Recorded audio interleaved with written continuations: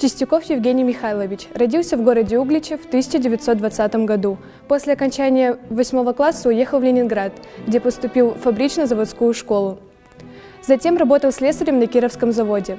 Затем по комсомольскому призыву был направлен в Борисоглебскую авиационную школу, где стал инструктором. С первых дней войны Евгений Михайлович сражался на фронте.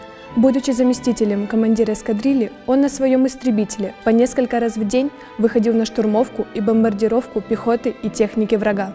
За очень короткий срок, с 22 июня по 31 октября 1941 года, младший лейтенант Чистяков совершил 89 успешных боевых вылетов, за время которых уничтожил лично 60 вражеских автомашин, 3 танка, 43 повозки – три зенитных установки и до 350 фашистских солдат и офицеров.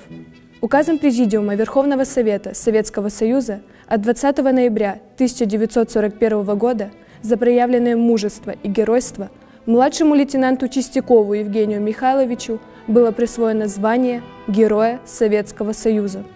В послевоенные годы за полеты на новой боевой технике летчик был награжден двумя орденами Красного Знамени и Орденом Красной Звезды.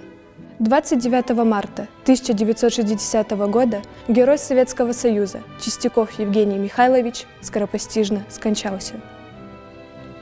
Помним, гордимся, не подведем –